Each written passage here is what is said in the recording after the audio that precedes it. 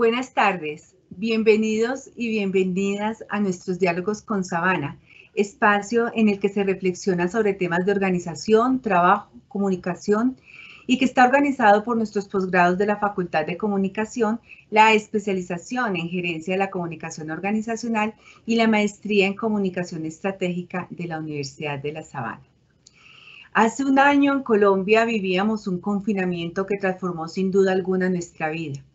El trabajo, el estudio, el exterior se metió sin preguntar a nuestros hogares, a la intimidad e interior de la continuidad. Tuvimos que compartir espacios, horarios, conexiones con nuestras familias, quienes conocieron por sonidos y voces a nuestros compañeros, profesores, jefes, Hoy ya muchos se atrevieron eh, por obligación y otros de manera voluntaria a regresar a las oficinas, a las instituciones educativas, retomando esta nueva realidad. Eso sí, todo con medidas para cuidarse y cuidar. Este diálogo es un homenaje a todas las personas que fallecieron por cuenta de la pandemia y por aquellas que ahora luchan por sanar y, no y por no sobrevivir, sino por aprender a vivir. Recuerden que en el chat se encuentra un enlace con el cual deberán diligenciar eh, su asistencia para obtener la certificación del evento. En este mismo chat podrán escribir sus preguntas y al finalizar la intervención se dará paso a responder la mayoría de ellas.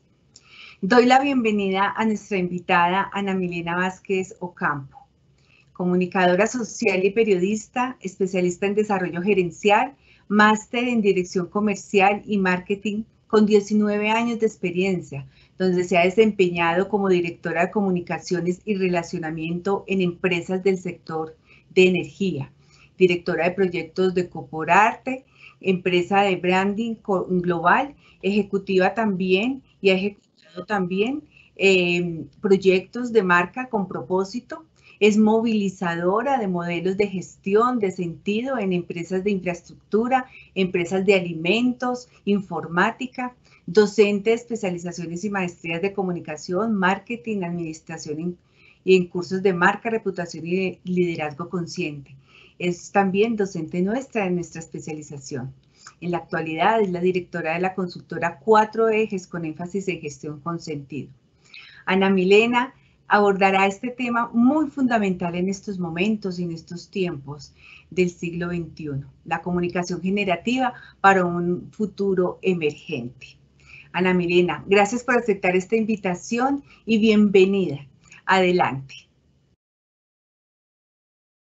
Hola, muy buenas tardes. Absolutamente feliz de estar acá con ustedes. Eh, muchas gracias por la invitación, muy honrada de todas las personas que están aquí hoy conectadas con nosotros. Gracias por esa presentación tan especial que, que haces y feliz, y feliz de poderles compartir eh, algunas reflexiones que sobre todo hacen parte de mi mesa de trabajo actual. Yo creo que tu invitación llegó en un momento muy, muy bonito para mí. Eh, como lo decías, hace aproximadamente cinco años estoy muy sumergida de lleno en todo lo que tiene que ver con la construcción de marcas con propósito.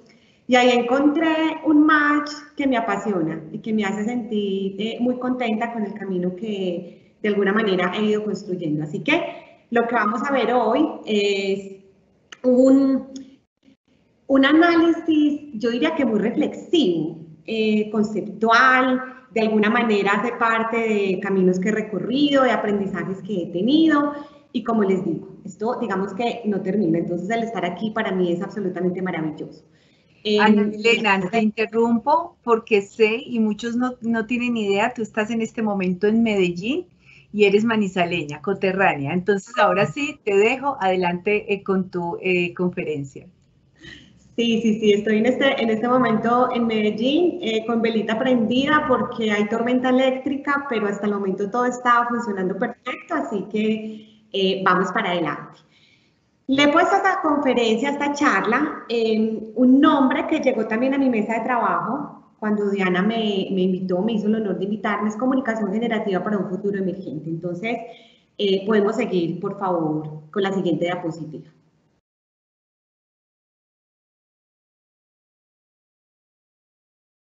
Perfecto. Y para hablar de comunicación generativa, eh, más allá de los títulos, la experiencia, que sin lugar a dudas es, es, importante para esa formación pues, de pensamiento crítico, yo siempre he creído que los seres humanos nos deberíamos conocer y presentar desde aquellas cosas que habitan detrás de nuestro ombligo, desde aquello que hemos ido encontrando y explorando. Entonces, en todo este proceso que yo he recorrido los últimos cinco o seis años, me di a la tarea de construir mi propósito existencial. Es un propósito existencial que tiene unas máximas eh, por las cuales yo trabajo de manera muy decidida todos los días para ser de alguna manera muy fiel a ellas. Son unas máximas que les quería compartir porque tienen que ver con muchas cosas de las que hoy conversaremos. Lo primero es que trato de cultivar esa mente de plastilina, que se moldee y que va cambiando de forma, expandiéndose cada día eh, para ninguno de los que está aquí es un secreto que estamos en un momento eh, de mucha evolución, de muchos cambios y tener, digamos que esa mentalidad de plastilina, como yo la llamo, es absolutamente fundamental. Una mente, un corazón y una voluntad abiertas, haciendo honor a uno de los autores referentes que seguramente también va a estar en muchos momentos de nuestra conversación, que es el maravilloso Otto Charmer, que me he dedicado también los últimos años a estudiarlo eh, con, mucha, con mucha profundidad reconocer mi vulnerabilidad y digamos que soy una, una abanderada de llevar la vulnerabilidad a todos los lugares, eh, de darle la bienvenida a la vulnerabilidad en el mundo de los negocios, en el mundo de las empresas. Y ahora les voy a contar algunas experiencias que han pasado en relación a cómo llevamos esa vulnerabilidad en los negocios, cómo llevamos nuestra autenticidad, lo que realmente somos y dejamos de lado tantas máscaras profesionales que no nos permiten conectarnos con el otro desde su desde su complejidad, desde lo que realmente somos. En este sentido también he tratado de quitarme muchas máscaras, muchas máscaras tratando pues como de revelar esa esencia. Valoro profundamente a cada ser que me encuentro en el camino y de todos aprendo. Eh, soy una convencida que son espejos, que son maestros. Practico una comunicación con sentidos. Eh, me he dedicado mucho a estudiar el tema de comunicación consciente, comunicación con sentidos y marcas con propósito que son, digamos que, áreas de gestión que tienen como con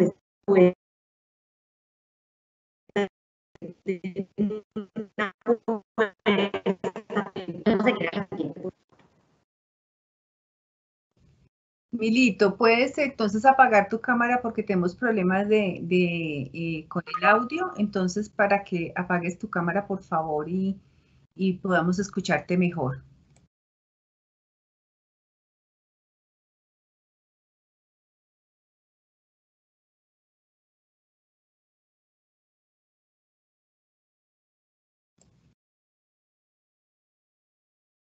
Como les decíamos, estamos en plena tormenta eléctrica. Ana Milena vive en un sector eh, rural de, Medellín, pero entonces ya eh, Vamos entonces a, continuar esperando que ella ya haga su, entrada de nueva por audio y entonces estamos mirando eh, su, presentación.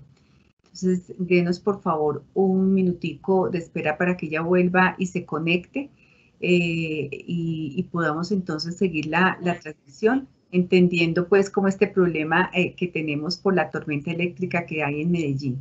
Adelante, Milena, te escuchamos. Muchas gracias, muchas gracias. Aquí vamos a seguir haciendo fuercita con la tormenta eléctrica, pero bueno, podemos seguir entonces con la siguiente diapositiva, por favor.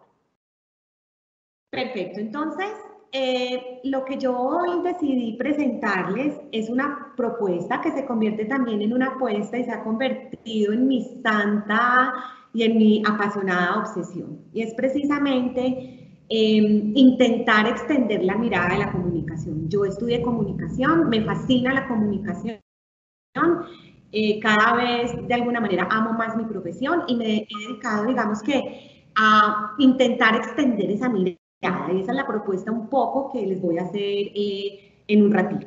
Extender la mirada del liderazgo, por supuesto, y extender la mirada de las marcas. Y todo esto partiendo como de una exploración detrás del ombligo para llegar a niveles superiores de comprensión y de conciencia, porque finalmente cuando uno habla de marcas con propósito y realmente quiere accionar ese propósito y realmente busca que ese propósito fluya de manera orgánica y genuina en las organizaciones, es porque la marca ha tenido una comprensión superior de cuál es el rol que tiene para el mundo, de cuál es el rol que tiene para el mundo. Y todo esto pasa por una evolución de conciencia, una evolución de comprensión de cómo vamos a fortalecer esos ecosistemas de relacionamiento, cómo vamos a mirar a los grupos de interés realmente a los ojos, cómo vamos a dialogar con ellos desde un diálogo con sentido, cómo vamos a abrazar su complejidad, cómo vamos a abrazar sus miedos, que es algo que está siendo muy común hoy en ese diálogo con sentido con los grupos de interés. Y es que ante tantos momentos de incertidumbre eh, hay que reconocer que a veces hay miedo. Entonces, ¿cómo reconocemos eso y cómo las organizaciones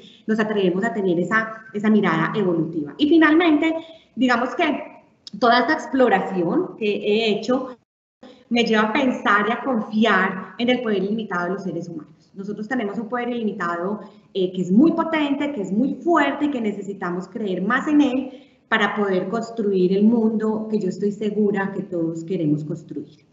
Vamos a la siguiente, por favor.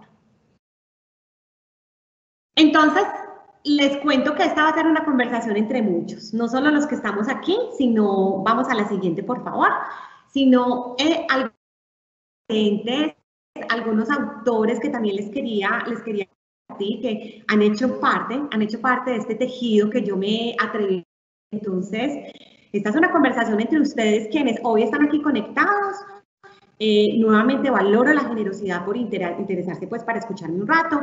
Eh, entre algunos pensamientos de Ana Vázquez, hallazgos, escritos, caminos recorridos, eh, seguramente embarradas, enseñanzas, reflexiones, y estos autores, estos autores que están aquí eh, en la diapositiva, seguramente me faltaron algunos, pero en estos, en estos últimos años de construcción, desde esta comprensión y esta conciencia y esta de alguna manera intención de extender la mirada han sido fundamentales para mí, fundamentales para mí.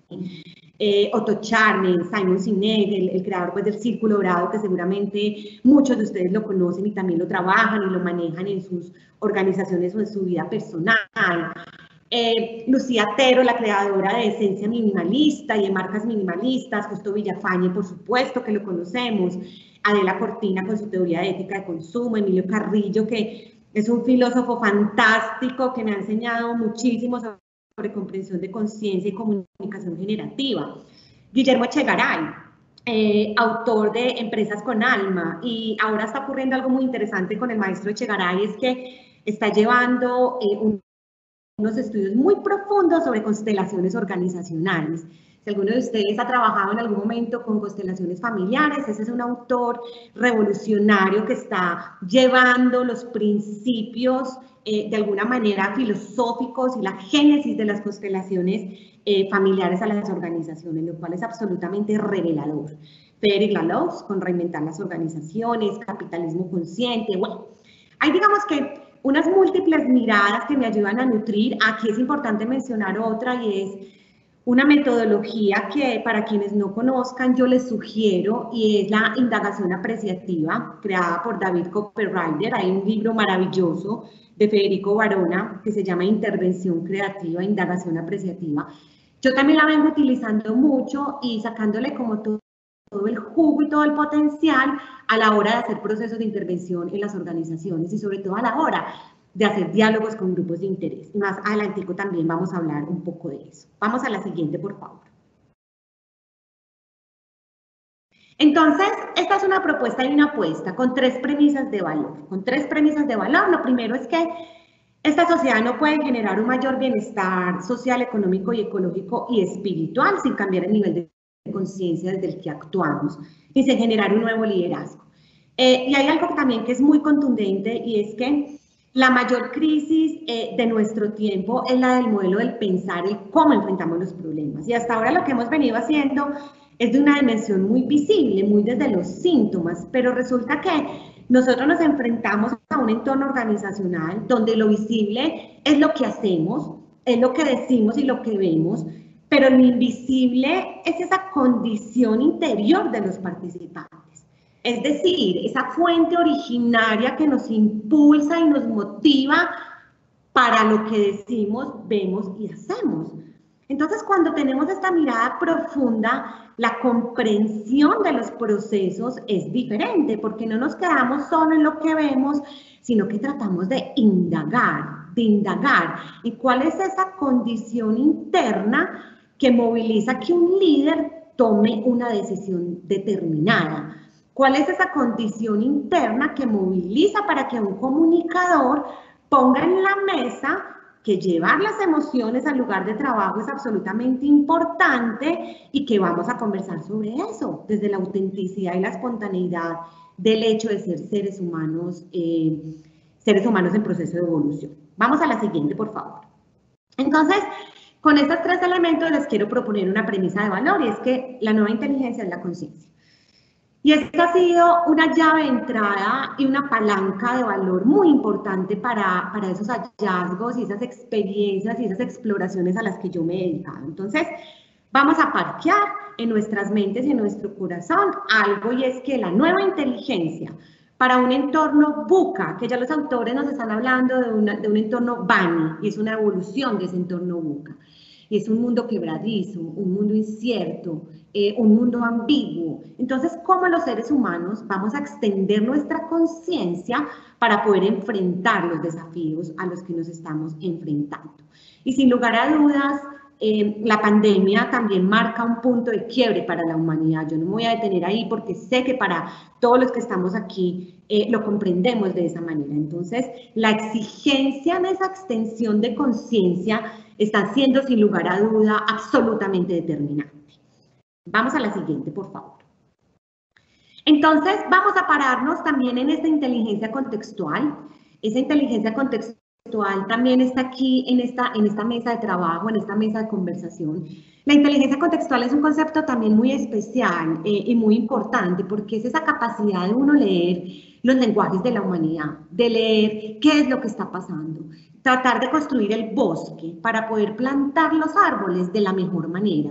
Es de alguna manera fortalecer ese pensamiento holístico, ese pensamiento extendido, esa mentalidad de plastilina de la que hablábamos ahorita. Entonces, el maestro Otto Charmer eh, nos dice algo que a mí me parece absolutamente importante y es que en este momento tenemos tres brechas sustanciales. Una brecha eh, naturaleza, una brecha con la naturaleza y él habla que es una desconexión del yo y la naturaleza. Una brecha social que es la desconexión de yo y de los otros, de esa, digamos que, autorreflexión profunda, entender que somos un gran ecosistema y que estamos conectados los unos con los otros de una manera inimaginable. Y la brecha espiritual, que es esa conexión del yo y el yo. Y este tema de la espiritualidad, para quienes hace ocho años hablábamos que la meditación debería estar en las juntas directivas y, la meditación y la presencia de la mente debería estar en los equipos directivos, pues es un tema que es absolutamente importante porque en este momento ya está presente la meditación en el mundo de los negocios, porque se ha comprendido que tal vez arrancar una sesión de junta directiva con una sesión de meditación nos va a ayudar a estar más centrados, más concentrados, a manejar nuestras emociones, porque somos seres emocionales, sin lugar a dudas esto va a contribuir con un ambiente de contención desde la confianza y eso ya sabemos pues los resultados positivos que trae para las conversaciones que puedan surgir en ese ejemplo que estamos poniendo de juntas directivas y demás. El autor además nos propone algo que es muy importante para el planteamiento y es que nosotros deberíamos tener una intervención sistémica, es decir, en nuestras mesas reflexivas, en nuestras mesas de trabajo debería estar estas tres brechas. ¿Qué está haciendo la organización? ¿Qué, están haciendo las instituciones públicas y privadas? ¿Qué están haciendo los gobiernos? ¿Qué estamos haciendo nosotros como comunicadores para tratar de tener siempre en mente estas tres brechas y las formas de cerrarlas? Porque solo de esta manera vamos a tener una intervención sistémica, que es lo que está necesitando la humanidad. Ya en la evolución de los Objetivos de Desarrollo Sostenible, que también sé pues que los conocemos con la Agenda 2030 de la ONU, se está haciendo un trabajo muy interesante en unión con el MIT, donde es pues profesor el, maestro, Otto Charme, para hacer una articulación de cómo estos Objetivos de Desarrollo Sostenibles se enmarca en el cierre de brechas, brecha naturaleza, brecha social y brecha espiritual. Lo cual es importantísimo para ese abordaje sistémico al que estamos abocados. La siguiente. Entonces, esta conferencia se llamaba Comunicación Generativa para un Futuro Emergente. Muchas personas me preguntaban, Ana, ¿eso qué es? Pues eso eso, eso con qué se come, cuál es el, sentido. Entonces, me parece súper importante hacer una especie de conceptualización que seguramente eh, se queda corta para la magnitud de la propuesta o para la, la, magnitud de la apuesta mejor. Y es, ese futuro emergente es, es, es, esa invitación, esa invitación a evolucionar la comprensión, a evolucionar nuestra conciencia y hacernos cargo. ¿Para qué? Para desde este lugar permitir que emerja un nuevo. Entonces se trata de llegar al nivel más profundo de nuestra humanidad, de quienes somos realmente y de quienes queremos ser como sociedad. Es una postura, eh, obviamente, eh, basada en pensamientos positivos, no en pensamientos ingenuos, porque el pensamiento positivo no es un pensamiento ingenuo, es un pensamiento casi que basado en sustento científico, eh, que es bien importante y es cuando nosotros evolucionamos la conciencia, abordamos los procesos desde otra mirada y podemos lograr resultados más positivos. Y en la siguiente, en la siguiente diapositiva, vemos entonces, eh, ayúdame con la siguiente, gracias. Vemos que para esta, para esta evolución y para permitir que emerja este, este futuro, necesitamos eh, tener esa mente abierta, ese corazón abierto eh, y esa, esa compasión abierta. Y llegamos entonces a una definición muy interesante que es un estado generativo, porque estamos hablando de comunicación generativa. Y antes de, hablar de comunicación generativa, eh, yo les quiero proponer esta definición de estado generativo, que para mí ha sido también muy reveladora y ha sido muy constructiva en el entorno empresarial, porque además ya se está hablando también de liderazgo generativo. Entonces, este estado generativo es, es precisamente ese estado de plenitud de recursos y de impecabilidad interior. O sea, la tarea es profunda. La tarea tiene unos desafíos muy grandes porque esa impecabilidad interior tiene que ver con la integridad como seres humanos. Entonces, es este estado de plenitud de recursos y de impecabilidad interior donde la creatividad emerge como resultado de una profunda conexión con uno mismo y con los demás. Entonces, estamos enfrentándonos a un reto que es absolutamente apasionante, es que nosotros como líderes tenemos una misión de movilizar estados generativos al interior de las organizaciones, entendiendo que ese estado generativo es ese estado de fluidez, donde los seres humanos sienten un ambiente de confianza, un ambiente de autenticidad, un ambiente de conexión tan profundo que entonces fluye de ellos lo mejor. Y fluye lo mejor para hacerlo mejor. Cuando uno encuentra equipos en estado generativo, yo que he tenido, digamos que la fortuna de trabajar con equipos eh, con estados generativos, la búsqueda de alternativas de solución es diferente. La articulación hacia propósitos compartidos es diferente, pero obviamente este es un estado evolutivo de desarrollo. No podemos lograr un estado generativo si al interior de la organización hay miedo, si los líderes fomentan el miedo, si las personas tienen temor de manifestar sus dudas, sus, sus, inquietudes, sus anhelos, sus aspiraciones. Es un modelo muy desarrollado, pero es un modelo que trae unos resultados muy positivos. Y yo soy una convencida porque he visto los resultados, he sido testigo de resultados de equipos en estados generativos, que este es el camino. Y es el camino porque los desafíos que tenemos son inmensos. Entonces necesitamos conectarnos realmente para poder lograr soluciones que sean diferentes. Vamos a la siguiente. Entonces, después de hacer como esta actualización, llegamos al territorio de la comunicación generativa. Y este territorio de la comunicación generativa eh, tiene una premisa, también de alguna manera una palanca que abre la llave, y es que el éxito de nuestras acciones como promotores del cambio, porque yo me considero una movilizadora del cambio, para mí la comunicación es una facilitación de comprensión, para mí la comunicación eh, es, una, es una constructora de estados evolutivos de conciencia, para el comunicador es ese ser humano que toma la decisión de levantar la mano en una junta directiva, en cualquier órgano de gobierno, en un ritual, en un mecanismo de integración, a decir, esta decisión que estamos tomando eh, no está eh, anclada en nuestro propósito, eh, no es necesario que le vaya mal al grupo de interés proveedor para que a nosotros nos vaya bien, tenemos que abrazar a ese grupo de interés, entenderlo, comprenderlo, dialogar con él. Eh, entonces, para mí, nosotros somos agentes del cambio. Y aquí hay algo también que es muy importante y es que el éxito de nuestras acciones como promotores de cambio no depende de lo que hagamos ni de cómo lo hagamos, sino del lugar interior desde el que operamos. Entonces, nosotros como comunicadores tenemos que hacer esa exploración que yo digo detrás del ombligo. ¿Qué está pasando con ese diálogo interno de Ana con Ana, de Diana con Diana, de Lau con Lau, de David con David. ¿Qué está pasando en esa conversación interior? ¿Qué está pasando con el ego? Porque tenemos que distanciarnos de esas fuerzas de poder a través del ego. El poder es, el poder es influencia. El poder nos debería servir para tejer puentes, para posibilitar estados, pero, pero esos egos organizacionales eh, tenemos que erradicarlos con mucha determinación. Entonces, la primera pregunta es, ¿cuál es ese lugar interior desde que operamos?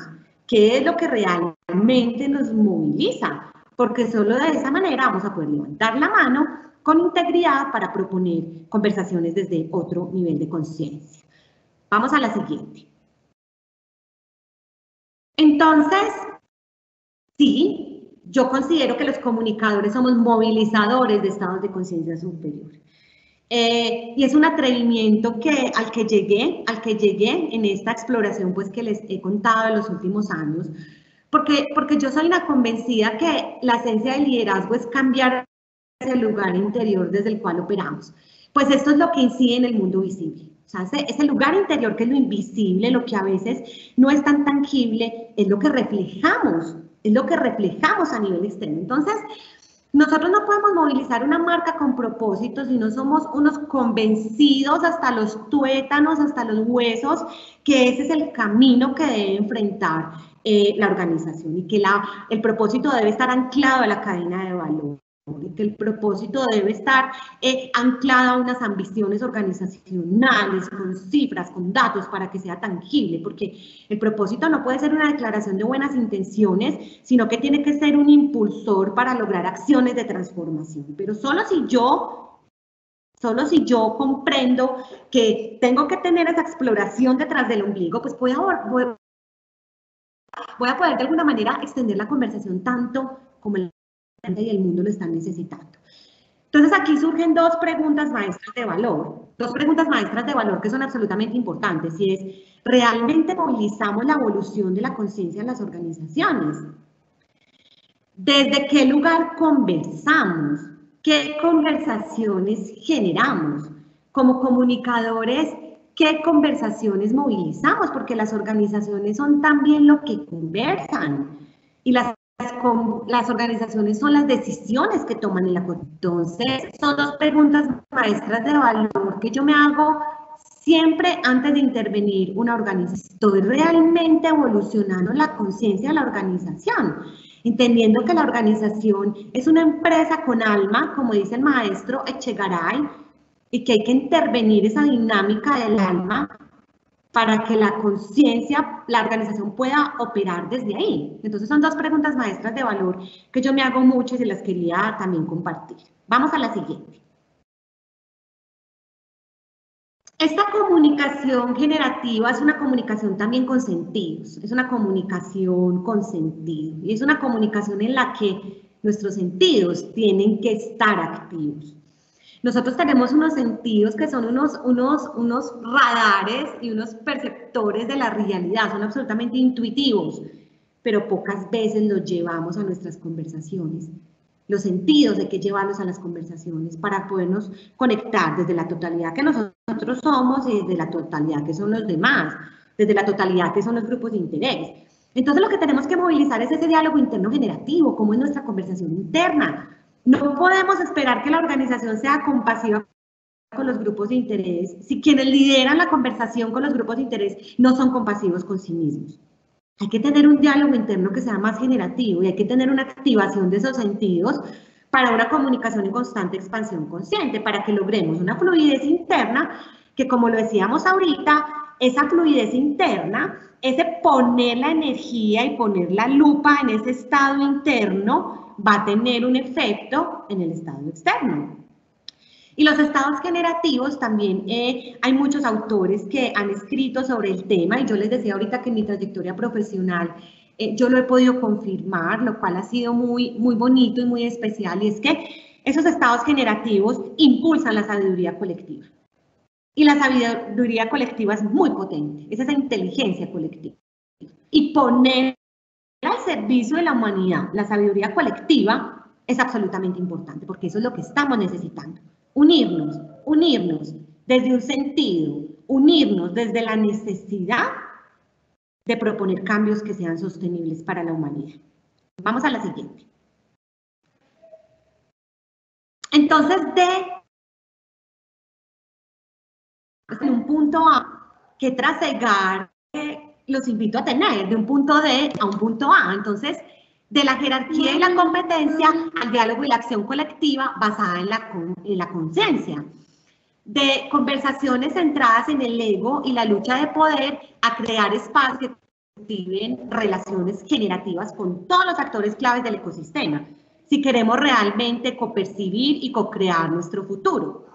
De evadir las tensiones a aceptar la complejidad Cuanto mayor, miren esto tan importante, cuanto mayor es la complejidad de un reto determinado, mayor es la necesidad de ampliar nuestro repertorio conversacional y operar desde los más profundos cambios de energía conversacional. Eh, espérenme un segundo que aquí llegó mi hijo Joaquín. Hijito, estamos en una conferencia. ¿sí? Deme un segundo, por favor, que esto hace parte de la dinámica. Y si ustedes se dan cuenta, eh, Ana Milena además es mamá y es mamá de un chiquitito, de un pequeñín. Entonces, claro, eh, vemos cómo eh, lo que yo les decía a nuestro inicio, de cómo se ha metido y nos hemos metido también a, a los hogares. Anita, continúa, por favor. Sí, aquí vino, vino Joaquín. Perfecto, pero eso es normalizar, eso es normalizar digamos que lo que estamos eh, viviendo. Perfecto, entonces esta, esta última premisa de valor para mí también ha sido muy importante porque precisamente se trata de lo siguiente y es que cuanto mayor es la complejidad de un reto determinado, mayor es la necesidad de ampliar nuestro repertorio conversacional y operar desde los más profundos campos de energía conversacional. Entonces la comunicación generativa lo que nos permite es que cuando nosotros estamos conectados con nosotros mismos, nos vamos a poder conectar con los demás de una mejor manera, de una manera mucho más constructiva, de una manera mucho más positiva. Vamos a la siguiente, por favor. Y aparece el tema del liderazgo generativo. Perfecto. La, gran apuesta, esa obsesión que yo les contaba hace un rato, tenía que ver con tratar de extender la mirada. Entonces, eh, hacemos algunos, algunos, digamos que, eh, apuestas en términos de extender la mirada de la comunicación. Eh, ahora vamos a hablar de este tema de liderazgo generativo y es que precisamente este liderazgo generativo está haciendo una evolución de liderazgo consciente que también ya, digamos que lo hemos escuchado mucho y lo hemos estudiado bastante. Eh, y tiene que ver precisamente con que uno de los roles es, ser movilizador de profundos estados de conexión y, y, promover un liderazgo que contiene, un liderazgo que contiene, que contiene las emociones, que contiene la autenticidad del equipo. Un liderazgo muy fuerte desde la energía femenina, que de eso también estamos, digamos que estudiando y escuchando mucho y promoviendo mucho en el sector organizacional. Y sabemos pues que la energía femenina no es un asunto de género, eh, todos tenemos una energía femenina y una energía eh, masculina, pero esa energía femenina es precisamente la energía que contiene, la energía eh, emocional, la energía del carisma, la energía de la, de la contención. Entonces, este liderazgo generativo es un, es un liderazgo que está generando profundos estados de de cooperación, donde las ideas fluyen y donde la innovación emerge, eh, casi que de manera genuina, casi que de manera genuina, porque además está comprobado que cuando los seres humanos se sienten en espacios colaborativos, donde se permite emerger todo lo que habita, la innovación casi que es un resultado genuino. Pero hay que preparar el terreno a la innovación. Entonces, muchas veces en las empresas eh, hacemos muchos esfuerzos, necesitamos una cultura más innovadora y lo decretamos y lo articulamos, creamos salas espectaculares tipo Google, pero cuando hacemos tres o cuatro exploraciones, tres, como digo yo, cuatro o cinco capas por debajo de la cebolla, encontramos que la gente es espacio de contención, que por más que diseñemos el espacio, la gente emerja todo ese potencial porque no siente la confianza no siente la entonces, la propuesta es que como comunicadores también pongamos en práctica un liderazgo generativo que no se quede en la primera capa de la cebolla, sino que vaya a la tercera, a la cuarta, a la quinta, como le digo yo a mis estudiantes. Donde los equipos se unen por propósitos compartidos de manera genuina, donde se le da la bienvenida a la autenticidad y se deja a un lado las máscaras profesionales. Vamos a la siguiente. Entonces les quiero compartir eh, algunas acciones que yo considero generadoras, que he vivido, porque a veces podemos ver estas conceptualizaciones, pueden resonar en nosotros, podemos sentir, sí, este es el camino, pero, pero ¿será que esto es posible? ¿Será que esta evolución es posible? Y sí, y sí, muchas empresas a lo largo del mundo, muchas empresas colombianas, muchas empresas aquí en Antioquia eh, están poniendo en marcha estas perspectivas, estas miradas, están realmente operando desde un modelo de capitalismo consciente, desde toda la extensión de lo que es este modelo de capitalismo consciente, que es la construcción de eh, liderazgos generativos, de propósitos evolutivos o propósitos superiores, de una integración real de los grupos de interés, porque los modelos de capitalismo consciente también nos invitan a hacer una integración real de los grupos de interés, que la integración supera la gestión la integración, digamos que tiene unas particularidades técnicas que son diferentes. Cuando tú tomas la decisión de integrar los grupos de interés, es porque estás dispuesto a que ese diálogo que haces con, ellos tenga un eco organizacional contundente, tenga un eco organizacional que atraviese la organización y que te motive a cambiar decisiones, a tomar decisiones diferentes. Entonces, eh, esto ya se está dando, eh, obviamente los que somos unos convencidos de esos temas quisiéramos que se diera eh, con, mayor, con mayor rapidez, pero creo que esa es la tarea. Yo sí creo que se están sembrando unas semillas muy poderosas para lograr extender la mirada de la comunicación, extender la mirada del liderazgo y extender la mirada de las marcas como movilizadoras de la comprensión y de la conciencia. Entonces vamos a ver algunos ejemplos. Dale a la siguiente.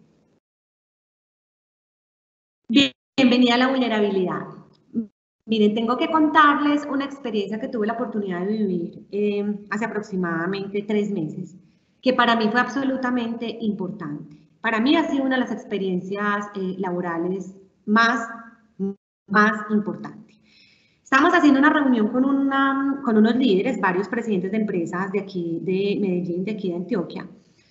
Eh, estamos conectados, pues porque eh, era virtual, pues por el tema de la pandemia.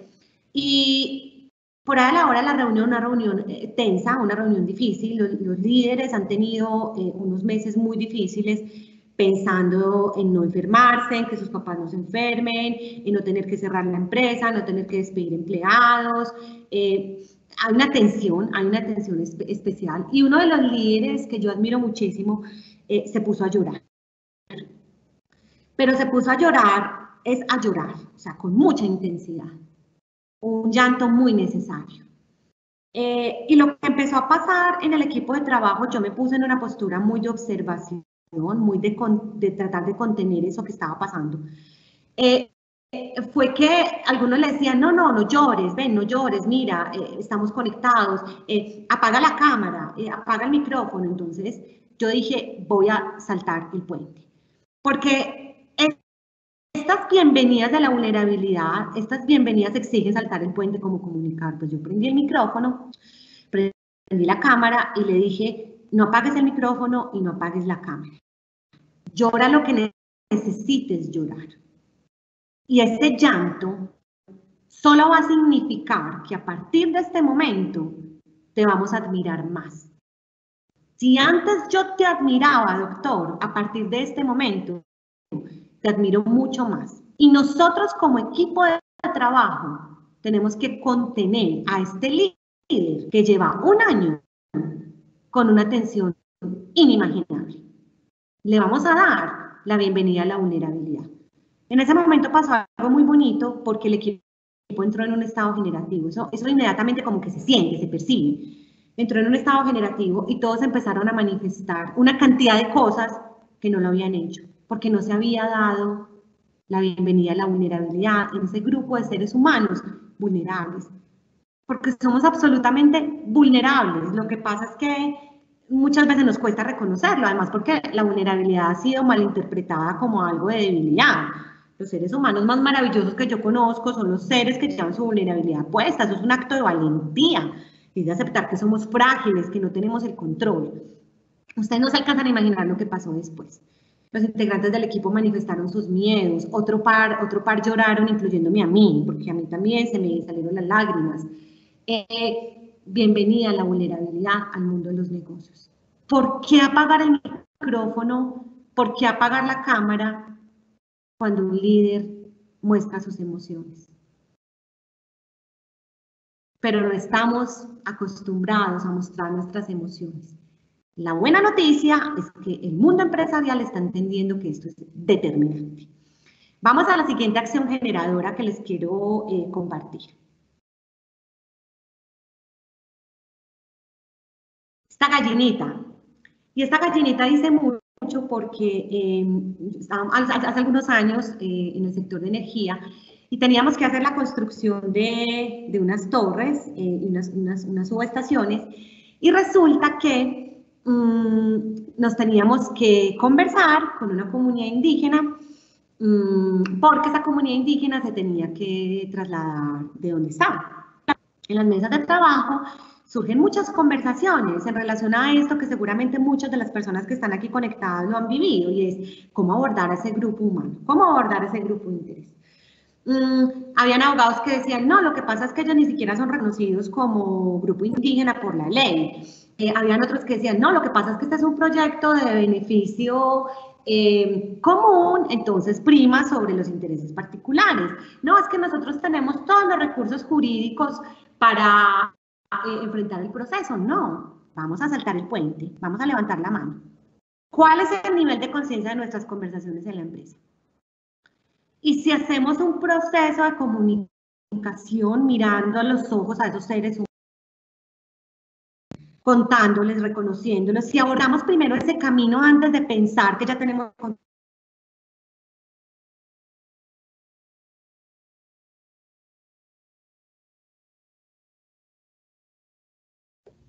Se nos fue Ana, Ana Milena, pero esperemos un segundito.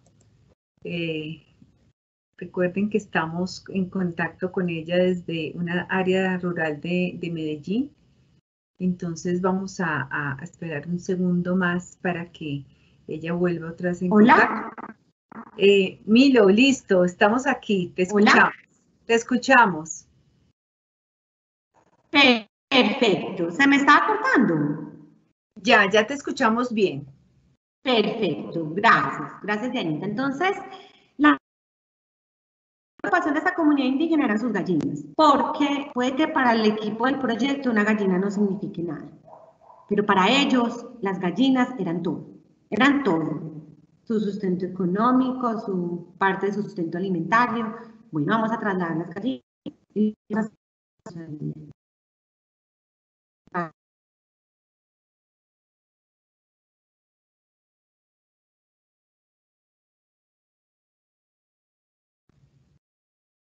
Les pido un poco de paciencia ya en esta última parte. Mm, Milo, eh, volvió y se te cortó el audio. Viendo cosas.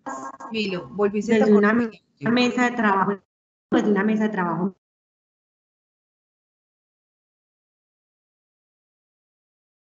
Esperemos entonces. Perfecto. Ahí regresé, ¿cierto? Sí, ya.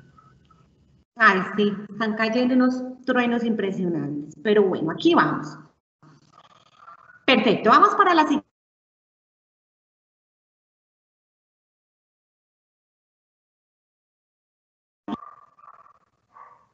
Vamos a la siguiente, por favor.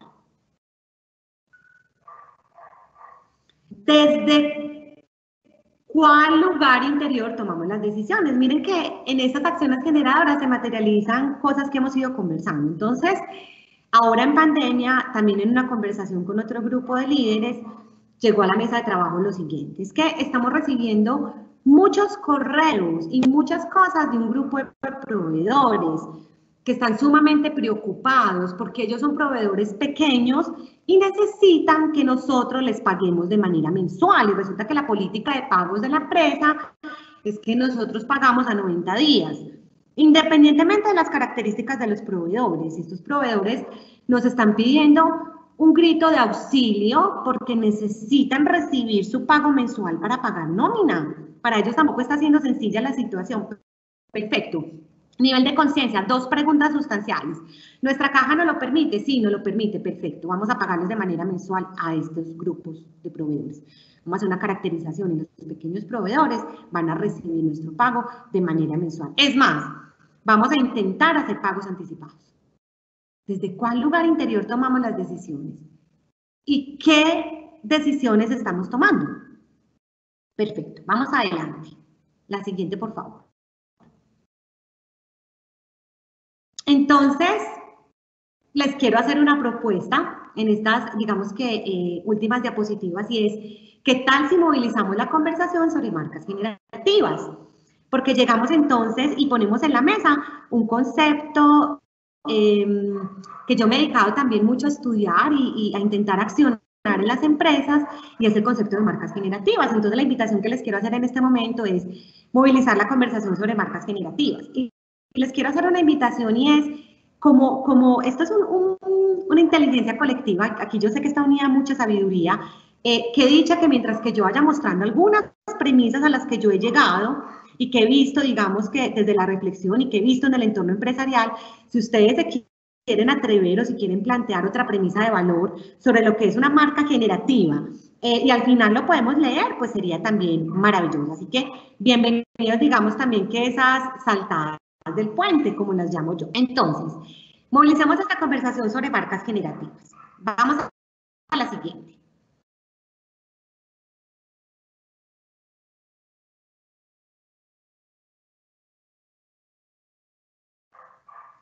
Las marcas generativas, sin lugar a dudas, son marcas generativas de procesos evolutivos. Esa también es, digamos que, un elemento importantísimo para esta conversación. Vamos a la siguiente. Entonces, a la siguiente, lo que vamos a encontrar es eh, una cantidad de elementos, de elementos de, este, de, esta, de esta gran rompecabezas que hemos ido construyendo y se activa con algo. Y es que vamos a poner en la mesa lo siguiente. Las marcas son gestionadas por seres humanos en continua evolución, al servicio de otros seres humanos en continua evolución. Pongamos esto en la mesa y vamos a la siguiente.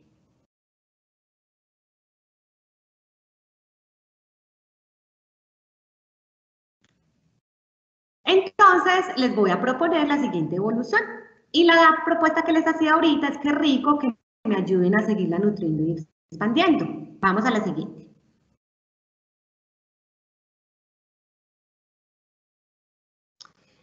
Estos son, digamos que los elementos em, que yo he puesto, como les decía, en, mi taller, en mi mesa de trabajo, y es el proceso evolutivo de gestión de las marcas está dando en el territorio de la conciencia. Esto es una realidad. Esta interpretación de esa inteligencia contextual es una realidad. Entonces estamos viendo teorías de empresas con alma, estamos viendo capitalismo consciente que ahorita hablábamos con él, estamos viendo empresas que sanan, eh, de Michael J. Hell, que es absolutamente sensacional. Hace poco yo tuve la oportunidad de escucharlo en una conversación que lideró David Escobar de Confama, que eh, David es uno de los líderes, eh, digamos que convencidos de esta conversación que estamos teniendo hoy aquí nosotros, ética del consumo y otra cantidad de mirada. Y a esto además le agregamos el mundo buca, el mundo Bani, la digitalización, eh, la extensión de la mirada de los grupos de interés a ciudadanos activistas, a defensores de causas, que también se está hablando de, de, marcas activistas y de liderazgo activista, que es otra, otro, otro asunto bien interesante que seguramente vamos a tener que invitar al taller para terminar de nutrir, digamos que este rompecabezas al que le hemos apostado. Eh, y obviamente, obviamente, yo sé que los que estamos aquí también sabemos que las marcas deben ser protagonistas y motores de desarrollo, pero sobre todo que vivan lo que dicen. Yo soy una de las que las conversaciones con, las, con los empresarios, con los líderes, con, con los líderes de comunicación, les digo mucho, ¿cómo fuera, cómo fuera el mundo si nosotros viviéramos realmente lo que decimos? O sea, si nosotros realmente eh, leyéramos lo que los decretos, esas narrativas organizacionales, esos relatos organizacionales y realmente lo viviéramos. Porque los relatos organizacionales obviamente pueden contar vivencia. ¿Cuál es la vivencia en, esa, en ese involucrarnos realmente con los desafíos globales? Entonces, eh, además, hay otro fenómeno que también está pues en la mesa y es este movimiento de compra hacia marcas conscientes, donde el hecho de ser y y de contribuir con la reputación de la marca está teniendo que ver con el comportamiento de las marcas. Eso también es absolutamente importante. Y sabemos que eh, la reputación de la marca es un binomio de valor entre la excelencia corporativa y el reconocimiento que hacen los grupos de interés de esa excelencia. Pero primero hay que ser, primero hay que ser, después la comunicación le da valor a esa excelencia corporativa para que los grupos de interés no la reconozcan. Entonces, bueno, estamos en un territorio de marcas generativas, que está finalmente es la gran apuesta después de explicarles como estos, estos hallazgos, estas reflexiones que he hecho. ¿Cuáles son como esas, esas revelaciones que yo les quiero proponer? Vamos a la siguiente. Entonces, una marca generativa, bueno, bueno, tratemos de describirla. Eh, le decía yo eh, mm, al, grupo de seres humanos, al equipo de trabajo con el que, he tratado de convocar a hacer esto, tratemos de llegar a unas conceptualizaciones sobre qué es una marca generativa, unas conceptualizaciones que sean dinámicas, que sean abiertas, pero que nos permita iniciar con el abordaje de la Entonces, es una marca que ya descubrió su propósito. Por eso digamos que es un estado que ya descubrieron su propósito, la revolución del propósito está siendo muy común, ya muchas marcas ya tienen el propósito o están en proceso de construirlo. Las marcas que tenían un propósito y que lo sentían son las marcas que han podido manejar la incertidumbre y la pandemia eh, de una mejor manera, eso también eh, ha sido comprobado por diversos estudios. Entonces, es una marca que ya descubrió su propósito y que por convicción quiere sentirlo cada día, irradiarlo y contagiarlo a toda la humanidad. Es una marca que ya comprendió que hace parte de un proyecto colectivo trascendente y desde ahí se piensa, se observa, se reflexiona y se acciona.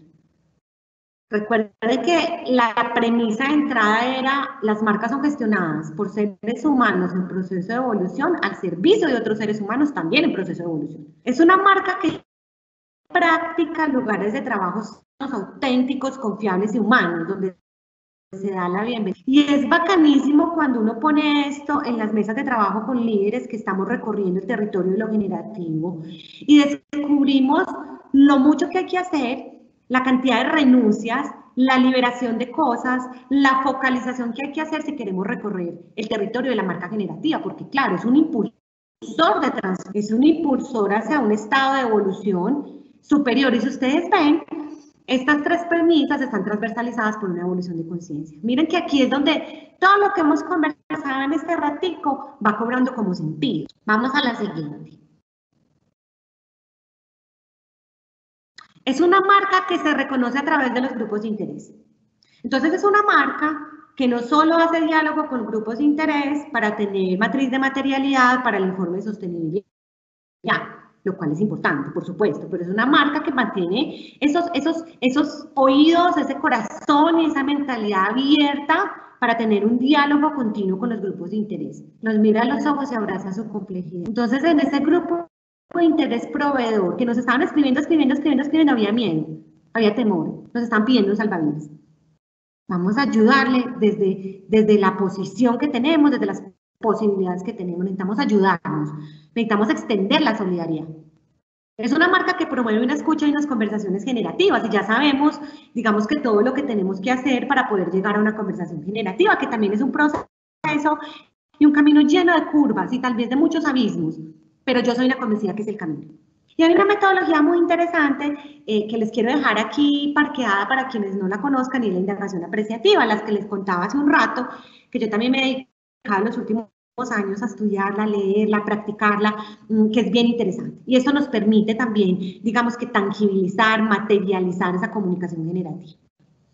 Es una marca que ha interiorizado sus principios de una manera tal que se siente en su actuación y experiencias, una bondad que es contagiosa y genuina. O sea, es una marca que entendió que la rentabilidad financiera siempre va a ser importante, pero que es el efecto de ser un buen ciudadano corporativo. A la siguiente. Es una marca que ha descubierto que su razón de ser es servir y acepta este llamado que le hace la humanidad. Es que cuando mi razón de ser es servir, desde el sector, desde la industria, si soy público, privado, si soy pyme, emprendedor, empresa unicornio, sea lo que sea, la dinámica de las conversaciones, la dinámica de la toma de decisiones tiene que cambiar. Es una marca viva, que late, claro, es dinámica, cambia. Ahora con todo lo que estamos viendo de organizaciones líquidas, modelos de agilismo, es una marca, una marca que se está reinventando constantemente y que obviamente reconoce la presencia de energías masculinas y femeninas. Es una marca con una alta sensibilidad para aceptar las, las tensiones y evolucionar. Eso es capacidad adaptativa. La capacidad adaptativa está siendo una ventaja competitiva de las marcas. Hay una definición muy interesante de capacidad adaptativa y es esa sensibilidad que tengo yo como empresa de sentir la tensión, de sentir la necesidad de cambio, pero también sé que necesito generar un espacio de contención, porque detrás del cambio hay miedo. Desde, detrás del cambio hay incertidumbre. Y si yo no manejo eso, no va a haber cambio. Es que los ágiles somos los seres humanos, no los métodos de agilismo que son maravillosos. Es un cambio de mindset. Entonces, esta capacidad adaptativa está también en el territorio de esas marcas generativas. Es una marca que se arriesga en encontrar lo inesperado en lo existente. Yo le digo mucho eh, a, los, a, los, a los líderes con los que trabajo que cuando una marca dice que no puede hacer algo, otra marca ya lo está haciendo. Ya lo está haciendo. Vamos a la siguiente.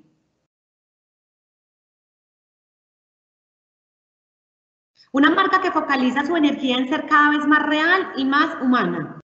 Sí, yo sé que todos los que estamos aquí sabemos, los grupos de interés no quieren marcas perfectas, no confían en marcas perfectas, porque la perfección no existe. Yo tenía un jefe que se ha convertido en un mentor, yo creo que va a ser mentor mío toda la vida, eh, que decía que lo perfecto es enemigo de lo bueno. No, reales, auténticas, que cuando la embarra reconoce que la embarró. Una marca que le da la bienvenida al amor en toda su expansión y que no teme que la llamen romántica. Empresa que sanan. La teoría de este maravilloso autor, no dañe con intención. La teoría del amor a los negocios, que además tiene unos efectos en contención y en productividad que son absolutamente maravillosos y también demostrables, porque todo esto está articulado al éxito de la empresa y al éxito de los negocios, pero desde una perspectiva evolutiva de conciencia. Una marca con carácter que asume posición, por supuesto y eso también lo estamos viendo mucho, que es muy como la llegada eh, a la mesa de trabajo, ese concepto de marca activista, marca que asume posición frente a los derechos humanos, frente al cambio climático.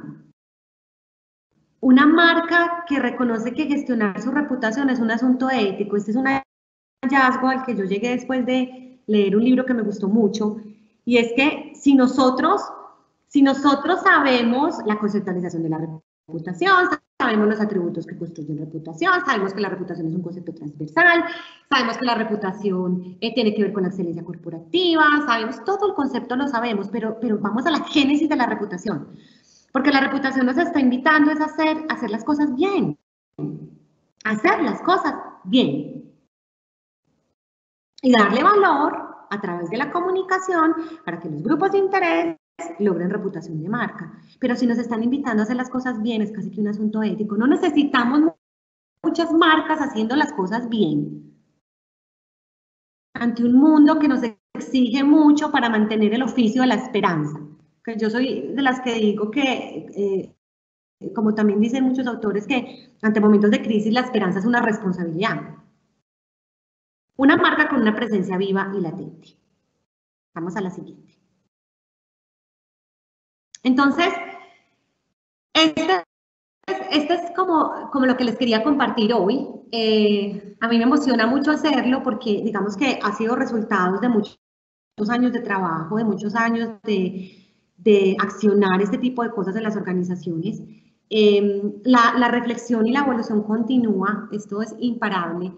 Eh, estamos en un mundo con unos cambios muy representativos. Sabemos los que estudiamos de estos asuntos, los que estudiamos de branding, de marcas con propósito, de sostenibilidad, que muchas veces lo que hoy funciona, mañana no funciona tanto porque la evolución es continua.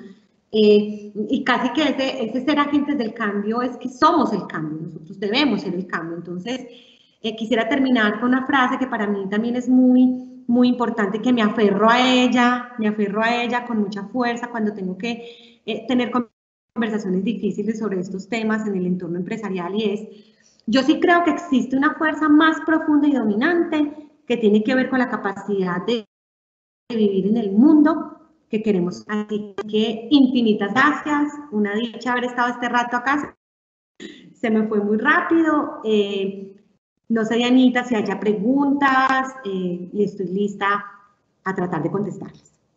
Sí, eh, Milito, primero que todo agradecerte. Eh, me han estado em, escribiendo porque realmente sí la conexión ha sido un poquito complicada, pero muy, muy interesante. recuerden, por favor, dejarnos en su chat eh, la inscripción para poderles enviar la grabación y la certificación de esta importantísima charla, entonces todavía tenemos tiempo y voy eh, precisamente entonces a, dar eh, lectura de las preguntas. Una tiene que ver con qué te motivó para escoger una referencia como la de Otto Charmer y no otro autor, ¿por qué él y no otro autor?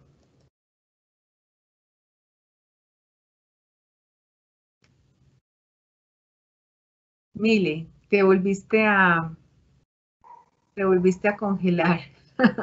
Aquí estoy. ¿Ahí me escuchas? Sí, sí. Entonces, ¿escuchaste la pregunta? Sí, sí, la escuché y me parece una pregunta espectacular. A quien la hizo, gracias. Eh, Otto Charmer llegó a mí hace tres años y la motivación que yo tenía era encontrar una teoría de intervención y de transformación social que tuviera en cuenta la evolución de la conciencia, que pusiera la evolución de la conciencia en el centro. Y, y, lo encontré.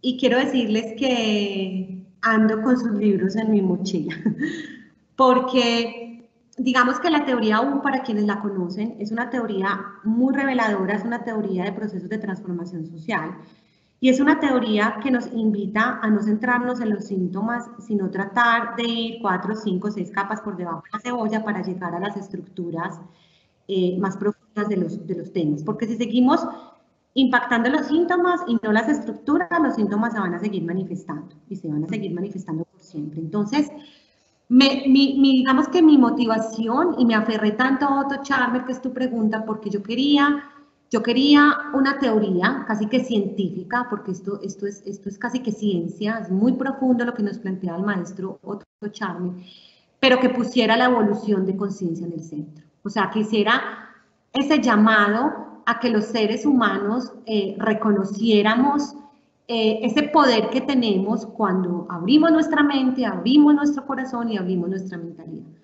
Y, y también hay un, hay un tema muy bonito de Otto Charmen y es que el concepto bien un tema de respiración social, lo llama respiración social, y es esa posibilidad de dejar ir paradigmas que ya son obsoletos, paradigmas que ya no nos están funcionando, para dejar venir lo que necesitamos que venga para poder enfrentar los desafíos.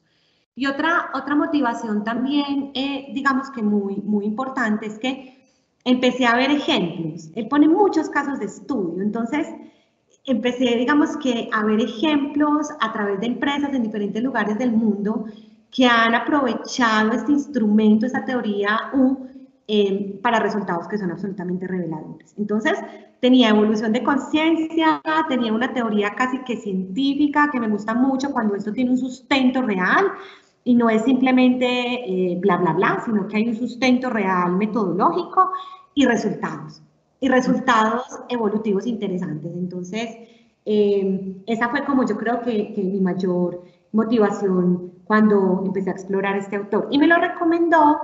También las recomendaciones son muy bonitas cuando vienen de gente que tú admiras y de gente que tú has visto que, que, está movilizando eso las organizaciones. Me lo recomendó un líder al que yo quiero mucho, entonces dije, este autor hay que explorar. Y bueno, me tiene amarrada él. Para poder responder a, varias de las preguntas que hay acá, eh, eh, Milito, te agradecería eh, que fuéramos más concretas por, por, temas de tiempo. Tú sabes que a las seis y media debemos de cortar. Y hay otra pregunta que tiene que ver con qué hacer o cómo hacer una marca romántica. ¿Qué hacer o cómo hacer una marca romántica? Yo te diría que poniendo en marcha estas posturas. Eh, nutriéndote de una inteligencia contextual, mi recomendación es que en esa inteligencia contextual en tu mesa de trabajo se indague muchísimo sobre empresas con alma, se indague muchísimo sobre reinventar las organizaciones, teorías de propósito evolutivo, de plenitud organizacional, que están absolutamente documentadas, de equipos autogestionados en, en, en mentalidades, digamos que ágiles, eh, indagar mucho sobre capitalismo consciente para tener un sustento muy fuerte, porque eso no, es un concepto, no es un concepto cutie, es un concepto aterrizado al mundo y a la evolución de los negocios. Eh, una postura de liderazgo generativo, una postura de darle la bienvenida a todos estos temas en las conversaciones con los líderes, pero yo te diría que construir esa inteligencia contextual, ver los resultados y entender que este es un camino que es muy positivo para esa trascendencia de ese aporte que tienen que generar las marcas a la humanidad. Bueno, otra tercera pregunta dice así, ¿cuáles son los factores más importantes a tener en cuenta en un manejo de crisis que se da de repente y no se tiene en el panorama de la organización? Sí, esa también es una pregunta importantísima. Eh, yo diría que en momentos de crisis tú te tienes que aferrar realmente a lo que eres. Y ahí sí que cobra vida esto que estamos conversando. A tus principios, a tu patrimonio moral, a tu propósito. Aferrarte a esa brújula moral que te va a permitir tomar decisiones, eh, digamos que acertadas. La crisis eh, es una realidad. Las, muchas organizaciones se están gestionando en base a sus riesgos. A raíz de la pandemia, los riesgos están cobrando una relevancia todavía mucho más importante. Pero yo te diría que aferrarte a lo que realmente eres. Y yo siempre le digo a, las personas que he acompañado en momentos de crisis, la, la, mirada humanista de la crisis es absolutamente importante. Bien, muchas gracias Milo. Y sigue otra eh, pregunta que dice, ¿el comunicador en una organización cómo puede iniciar un trabajo generativo con los líderes y los trabajadores? Ay, buenísima, buenísima esa pregunta. Eh, Mira, yo le diría a la persona que hizo esa pregunta y a todas las personas que hoy nos acompañan que el trabajo debe partir de nosotros mismos. Eh, porque la evolución de conciencia tiene que partir de nosotros. Para nosotros poder acompañar a un grupo humano a que recorra ese territorio generativo, ese territorio de evolución de conciencia, la evolución tiene que estar dada en nosotros mismos. Es decir, en esta exploración detrás del ombligo de Diana, Diana Vázquez, qué está pasando allá, eh, cuál es mi postura, cuáles son mis sombras, mis luces, qué pasa con mi ego, qué pasa con mis intenciones, cómo veo la organización. Es un proceso muy profundo, porque solo desde ahí lo vas a poder evolucionar. Y es un proceso que nunca termina, que nunca termina.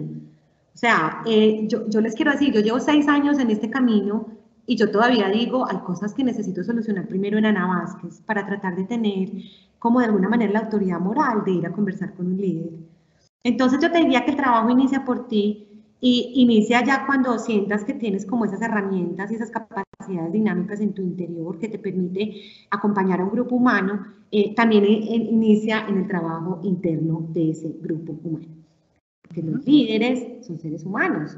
Entonces inicia en ese trabajo interno de esos seres humanos. Bien, otra pregunta dice que, ¿qué aconsejas para introducir una comunicación generativa siendo agente de cambio en una organización que opera eh, de una manera estructurada y aún no tiene en cuenta estas nuevas formas de liderar y comunicar? Sí, esa pregunta también es muy chévere porque es como el desafío al que nos enfrentamos constantemente, nosotros como movilizadores y facilitadores del cambio.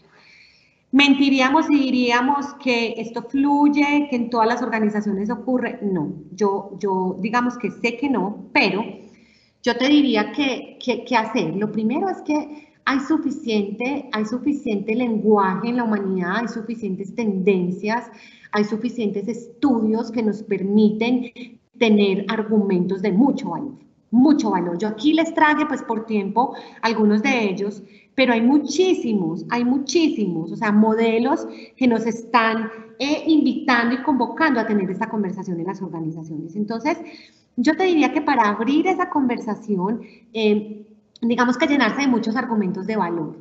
Como decíamos ahorita, empresas que sanan, empresas, empresas con alma, capitalismo consciente, reinventar las organizaciones, ética del consumo, marcas con propósito, eh, hay, hay, teorías de capacidad adaptativa, eh, hay una cantidad de cosas que, que no es un cuento de la persona que lo quiere vender, porque a veces dicen, no, estos comunicadores, mira, pues con lo que están saliendo ahora. No, hay una suficiente argumentación que le está indicando a los negocios que deben tener una mirada extendida desde la conciencia.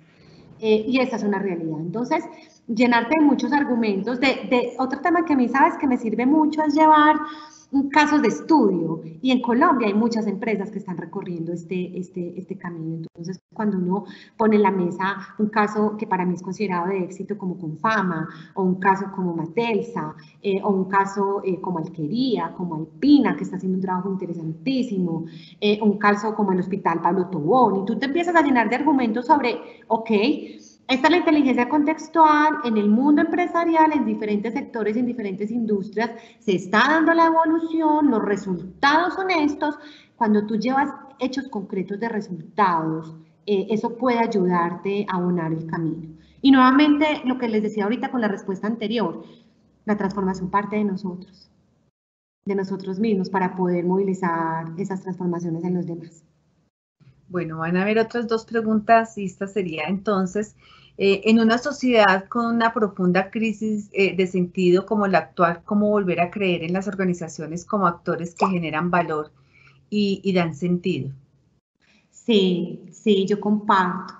Pero precisamente, sabes que con esa pregunta yo veo el vaso medio lleno y es, es innegable que hay, hay, crisis, hay crisis de sentido, hay barómetros de confianza de grandes estudios a nivel global y la confianza sale muy mal librada, o sea, los grupos de interés pierden mucho la confianza en las instituciones y la pierden también por, por razones muy, muy sustentadas, o sea, por comportamientos a veces que no son muy adecuados. Entonces, esa pérdida de sentido, ¿qué tal si la abordamos desde dar sentido y demostrar el sentido?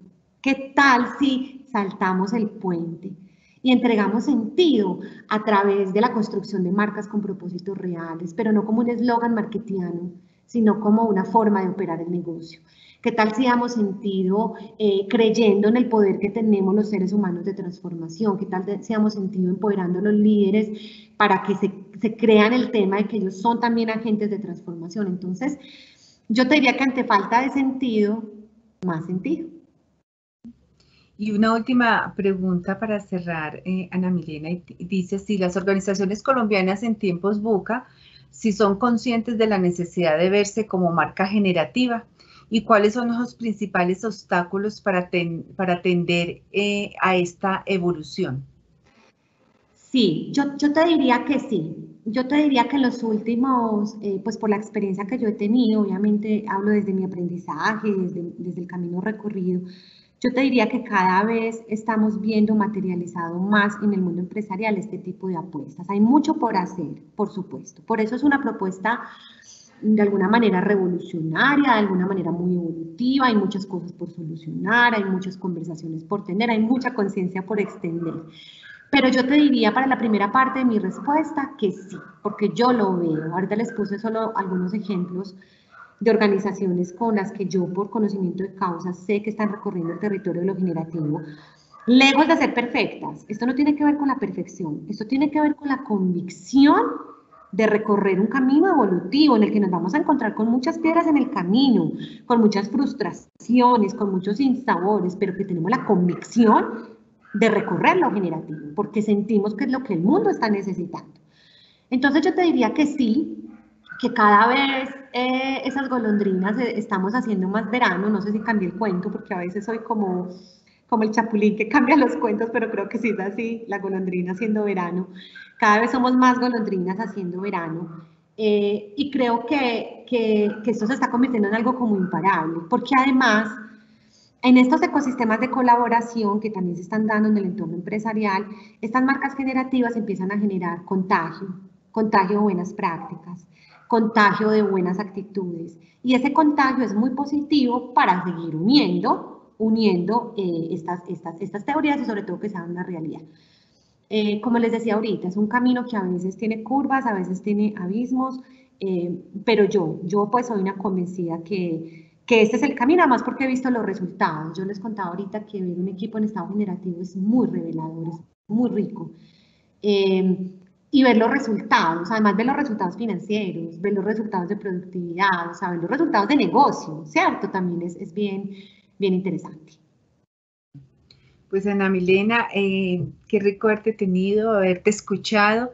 Eh, lástima que el clima no nos ayudó mucho para que la conexión fuera realmente eh, la que queríamos y poderte ver y poderte escuchar, pero sí te sentimos realmente, Ana Milena, con, con lo que nos has expresado el día de hoy. Si puedes prender un momentico tu, eh, tu cámara para, para verte y darte esas gracias de todo corazón, muy orgullosa siempre de ti por esa generosidad, por entregarnos este espacio de aprendizaje y agradecerles también a todos la asistencia a estos diálogos eh, gracias, estimada audiencia, los esperamos en la próxima cita que va a ser el miércoles 7 de abril con otro invitado, esta vez internacional, y quien nos hablará de comunicación científica, otro tema más.